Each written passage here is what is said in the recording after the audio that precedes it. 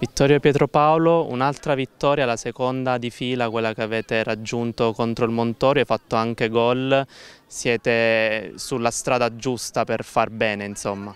Sì, siamo sulla strada giusta, normalmente bisogna sempre continuare, sempre grandi prestazioni, soprattutto di gruppo, di squadra, poi quando arriva il gol eh, normalmente sono ancora più felice, però l'importante è che facciamo un buon risultato e che ci sia una prestazione di squadra.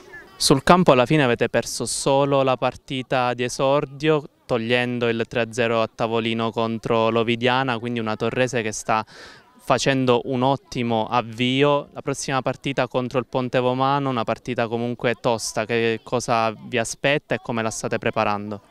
Sì, una partita tosta, la stiamo preparando tanto cioè, stiamo preparando bene, soprattutto mentalmente, bisogna approcciare bene la partita, se no come ha detto lei è la prima partita col Capistrello per me, cioè, secondo me non abbiamo approcciato mentalmente la partita e il risultato non è arrivato. Qual è l'obiettivo de della squadra per questa stagione? No, l'obiettivo è sicuramente fare un gran campionato, non ci sia, un gran campionato, tutto qua.